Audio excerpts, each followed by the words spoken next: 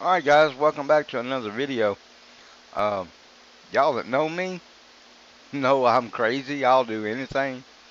Um, I'm, I'm not dressed up today. I'm just in my bathrobe. It's Sunday. I'm just kicking back.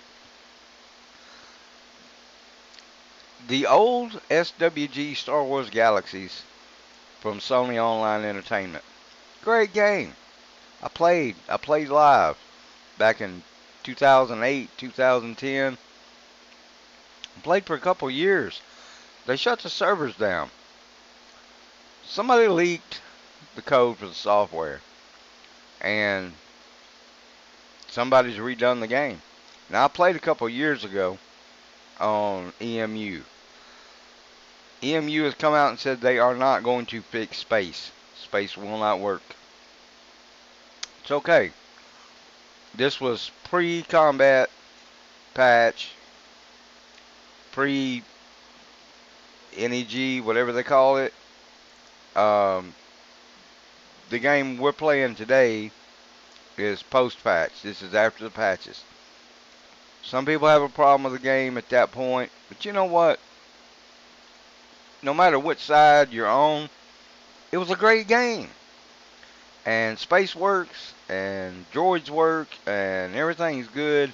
So I wanted to do a tutorial on how to install this on Linux. So let's get to it. Okay so with Linux it's really easy to mess around with ISO files. With Windows always had to download some I'm sorry I got a cough drop in my mouth y'all. Um, with Windows always had to get a third-party program to down to uh, install ISOs or burn it to a disk or a flash drive and then install it that way. Linux makes shit so easy. Just download a copy of the game. Now look, you'll have to get this game. I can't tell you where to get it. It's abandonware, but I can't post links. Just go on the internet, find a copy of the game. I paid Sony for a digital license. I paid for my copy of the game, and I paid a little extra for the expansion. I own a copy of the game for the rest of my life. I own this. If you have an old set of discs somewhere, just drag them out, wipe them off, install the game. If you don't have the disc, find a digital download, find a copy somewhere, can't tell you where, I'm sorry. Unzip it, and in that folder you're going to find one, two, three, four ISOs. You do not need the jump to light speed, the JTL ISO. Don't need that. Just ignore that one. Because on the server we're playing on, JTL is already installed. They made it easy. So, how to do this in Linux? You want to right click on the ISO, and this works with any ISO, and go down to Mount Archive. Bam. Appears right here on the desktop. It also appears under Devices. Remember that. It's right here under Devices. Leave this window up during the install. You'll need it. Go ahead while you're doing things and just mount part 2 and go ahead and mount part 3. All three ISOs are now mounted. The system can find them and read them. Open the first one and start the install. Watch your checkboxes. You don't need a shortcut on the desktop. You don't need a menu shortcut. You don't need any of that because we're going to use a different launcher anyway. We're not going to use their launcher. Just get them all installed. When it asks for disk 2, come down here, click on the second one click OK or continue, it'll install them. And in my case, it never asked for disk 3. It automatically found it and just kept installing till it was done. That's it. That's literally all you have to do. When you're done, unmount your disk. They just, Linux makes shit so easy. I love it. Okay, so the game is installed and it didn't take nothing to do it. You're going to need to go to this web page. right here. swglegends.com. Okay, swglegends.com. Once here, you're going to click on the Let's Get Started. That's going to take you to the install page. Skip this. You're already installed. You don't need this. If you didn't get any errors or any issues, ignore this. Scroll down to part 2. Right here, SWG Legends Launcher.zip. Under part 2, right here, this file. Get this file. It's a zip file. Unzip it. Once it's unzipped, you're going to take that file. Now this is Linux Mint 2.2, 20.2. Uh, should work the same under 21, should work the same under 19X. Uh, go to your home folder, which is where I installed it. You want to click on show hidden files. Okay. Now you got all your files open. Go down to Wine. Drive C. Program Files x86. Star Wars Galaxies. Now you have to install it through Wine. And right there is the Legends launcher. Just pop that folder in the Star Wars Galaxies folder. Just unzip it right here. If you don't want to unzip it right in here, unzip it in your downloads. Just move it over here and drop. Just drag and drop it. But it goes in the S in the Star Wars Galaxies folder. Okay, right there. It goes in that folder. Once it's in that folder, uh, let me see. Where is the there's a launcher shortcut somewhere. And you'll have to track down the, the dot execute, the shortcut, and and uh, put a shortcut on your desktop. Yeah. Client dot execute, uh, client R dot execute. I think this is recommended you'll just have to check them out. But the, the, here's your dot executes for actually launching the game. But there's an easier way to do this. Everybody has Steam. Most people have Steam. Steam runs non-Steam games. A lot of people know this, a lot of people don't. When you load up Steam, go to your library. Up here under games, your games tab,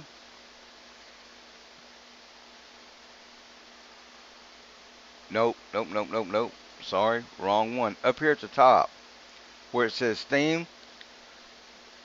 Um, is it under View? I can't remember. Let me look. Let me look. Let me look. Friends, Games. Go under Games. Okay, and you want to add a non-Steam game to my library. It's the very last option under Games add a non-Steam game to my library. It'll open a window. You will add the game to Steam. If you look right here, SWG Legends Launcher.execute. Add the launcher. Don't add the game. Add the launcher. All we got to do is launch it. The game will take care of everything else. You just got to get the launcher. This is the easiest way to do this, guys. That's through Steam. It's the easiest way. Proton runs so well. Why wouldn't you use it?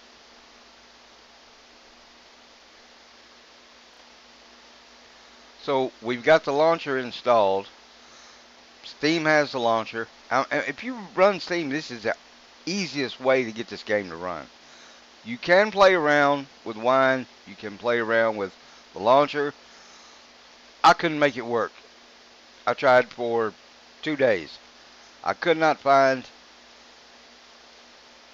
how how to solve certain issues. Run it through Steam. Runs great. once it's installed, of course, it'll run right away. But you're going to need to do some things. Where you downloaded your launcher at, you're going to read down this page. Uh, there's a guide here for the gaming launcher. Don't worry about that. Run it through Steam. Easiest way to do it. No problems. Right here, if you don't already have an account on the forums, make one here. This account information will be used to log into the game as well. You have to make a forum account. Those accounts are manually approved daily. They usually get on them within an hour or two. They have several CSRs working. The CSRs, by the way, in this game are fantastic. This server, the the devs, the people in Discord, join the damn Discord. Oh my God, the information there is crazy. Uh, you're gonna want to make that form account when you download the launcher. That way, by the time you get it all installed and you get it running, hopefully your form account is approved. If not, give it a little time. If a little time goes by and you don't see anything, you're going to have to wait. That they will get to it. The Discord is set up right here. You can join their Discord, but the only problem with that is you can't use the Discord until they approve your form account. I know, it's kind of stupid. But the bot will block you from using the the Discord. Um, I'm not sure if you can get to the CR, CRS channel or not. I don't think you can because had the same issue. Uh, you can fill out a help request on the forums, uh, and they will send it to a CSR, and they will get back to you and approve your account pretty quick. But you have to do that. So make sure you download this while this is downloading. Go here, sign up for your form account. Everything's good. Now, you've got the game installed. You've got your account ready. Uh, the account name you use will be the one you log in with. So we're ready to fire up the game and take a quick look. Alright, so we got our form account filled out. We've got our game installed. We've got our launcher downloaded and ready to go. Drop it in the folder. Hook it up through Steam. It's the easiest way to do it. So we click Steam and there it is because I've already run it. And I'll just show you what uh, what the screens look like. It does take just a minute to get started. But it hasn't failed to load yet. Okay, this is the initial screen where you'll see your password and username, stuff like that. You can set this, I've got mine set to Rebel. You can set this through uh, settings somewhere. Right here, the little gear, you can change this. Log in. You will get an update. It's going to be a horrible long update. If you don't have a really good internet connection, get everything installed, get your form account ready, and before you go to sleep, launch the game, log in, you'll get this screen, and you'll get a 15 hour update. It took me in real time about 45 minutes, maybe 50 minutes to update, but I've got like I got 350 downloads and 21 up, so uh, my internet's screaming quick. I, I didn't have any issues. Uh, and it take it took about an hour, uh, and then you just click the play button.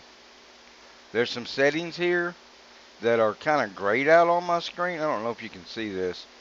Um, see it shining through there. There's a form shortcut. There's a shortcut there for support. Uh, over here, there's settings and home. So there's there's four tabs up there that you can't see because I've got a black background on my screen. That's it. Just I don't know why they're not brighter.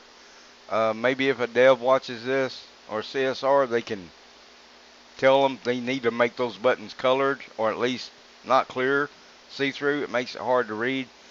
But there's four options up there. Um, this tells you the servers online and the population of the server at the time. Uh, we just click play because we've already logged in. Our username and password's there. And you'll get this SWG Legends on the screen. And we start running the game. You can click on the screen as these come up and bypass them. And here we go. We're in the game. This is the easiest game to install if you run it through Steam. I personally could not make it work running it under Wine without Steam.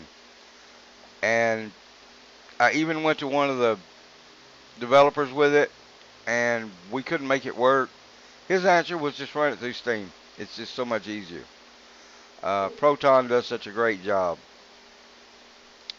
Um, I'll give you a little view of my bunker, uh, which is a 90-day Veterans Reward, which you get, check it out, 10 days after you've logged in. 10 days. 10 days that character gets a Mustafar bunker. Now, uh, this is my droid engineer. There's my droid making stuff. I've got toolboxes with metal and parts and stuff. Got metal over here. Um, this this game, it runs screaming fast. It's, it's an older game, sure, but I've got a holo, uh, hologram with a control panel uh, for pictures. Let's go up top. Got my vendor up here for selling droids. I've sold probably six or eight droids in the last two or three days. And here's the world. We're on Talus. I love Talus. Those are uh, waypoints I've got marked.